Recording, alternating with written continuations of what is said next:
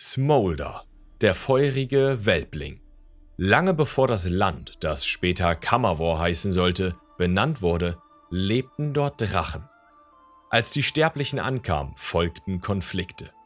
Der Streit wurde erst beiseite gelegt, als der erste König von Kammerwar sich vor der Drachenmatriarchin demütigte, das Knie beugte und sie anflehte, seine Armeen und alle seine Träume von einem Imperium mit ihrer enormen Stärke zu unterstützen. So kam es, dass der Drache, der später als Großmutter Viper bekannt werden sollte, und der Herrscher von Kammervor den Eid von Volvisperi des Inwein schworen, der ihre Familien für die kommenden Generationen verband. Die Drachen hielten dem Thron und den hohen Häusern, die die Prüfungen bestanden und die heiligen Riten des Eides vollzogen, die Treue. Im Gegenzug wurden die Drachen mit Vieh gefüttert und mit Opfergaben überhäuft. Das Gold, die Juwelen und die wertvollen Artefakte, die sie im Laufe der Jahre anhäuften, verschafften ihnen großen Respekt. Und diejenigen, die dreist genug waren, sich den Drachen in den Weg zu stellen, hielten inne bei dem Gedanken, dass ihr eigenes Vermögen zu geschmolzener Schlacke und vom Wind verwehter Asche zerfallen würde. Lange nachdem Großmutter Viper in die Legende eingegangen und ihre Brut stark geschrumpft war, rief der junge König Viego Santiarul Mollach voll Kala Haigari die Königsdrachen dazu auf, ihn und die ritterlichen Orden zu den gesegneten Inseln zu begleiten. Die Drachen erkannten seinen Wahnsinn nicht und alle Schätze von Runeterra konnten sie nicht vor dem grausamen Schicksal bewahren, das Zerstörung anrichtete.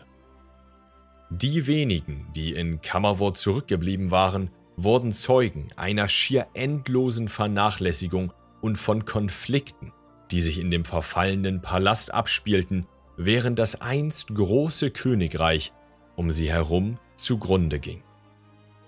Es sollten Jahrhunderte vergehen, bevor ein neuer Königsdrache schlüpfen würde. Als das Jungtier heranwuchs, zwang der Mangel an Wild seine Mutter dazu, sich immer weiter entfernt auf die Jagd zu begeben. Dies machte das Nest anfällig für weit umherziehende noxianische Bestienmeister, die den jungen Drachen stahlen und nach Hause segelten, um ihre Belohnung zu kassieren. Kurz vor ihrem Ziel entdeckte die Drachenmutter jedoch den Aufenthaltsort des Schiffes und zerstörte es mit ihrem feurigen Atem. In dem Chaos wurde das Jungtier mitgerissen und von der Strömung auf eine nahegelegene Insel vor dem Festland von Noxus getragen. Verängstigt, allein und hungrig wandte der Schlüpfling die Lektionen seiner Mutter an, um in dieser fremden Umgebung kleine Beute zu jagen und stieß bei einer dieser Jagd auf ein Menschenkind namens Marinos. Der Junge nannte seinen neuen Freund Smolder und als die Kommunikationsfähigkeit des jungen Drachen wuchs, blühte ihre Freundschaft auf. Aber sie blieb ein Geheimnis. Der Junge fürchtete, dass Smolder, sollte ihn jemand entdecken, auf das Festland gebracht und an den Meistbietenden verkauft würde. Im Laufe der Zeit wuchs der Junge zu einem Mann heran mit Verantwortungen, die nur noch selten die Zeit zum Spielen zuließen, die Smolder so sehr lieb gewonnen hatte. Um sich zu amüsieren, beschloss Smolder, Feuer spucken zu lernen, wie die Drachen in Marinos Geschichten. Nach vielen Versuchen spuckte er keine Funken mehr, wie er es unzählige Male zuvor getan hatte, sondern Flammen. Und in seiner Aufregung über diese neue Entwicklung bemerkte Smolder nicht, wie sich das Feuer ausbreitete, bis es das Blätterdach des Waldes verschlungen hatte. Plötzlich, lauter als ein Jagdhorn, Lauter als der Donner schallte ein einzigartiges Gebrüll durch die Luft, als sich ein gewaltiger Drache näherte. Vom aufsteigenden Rauch angelockt, stürzte Smolders Mutter herab und umarmte ihr Kind so liebevoll, als wären sie nie getrennt gewesen. Smolder wurde an seinem Nacken von dem wachsenden Inferno weggetragen und schwebte. Das erste Mal, dass er die Welt so erlebte, wie es sich für einen Drachen gehört.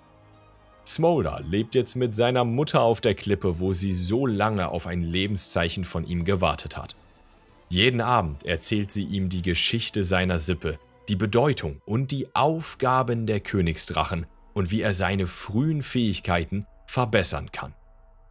Und eines Tages, wenn er bereit ist, werden sie gemeinsam in die Heimat ihrer Vorfahren zurückkehren, um ein neues, goldenes Zeitalter für Kammerwor einzuleiten.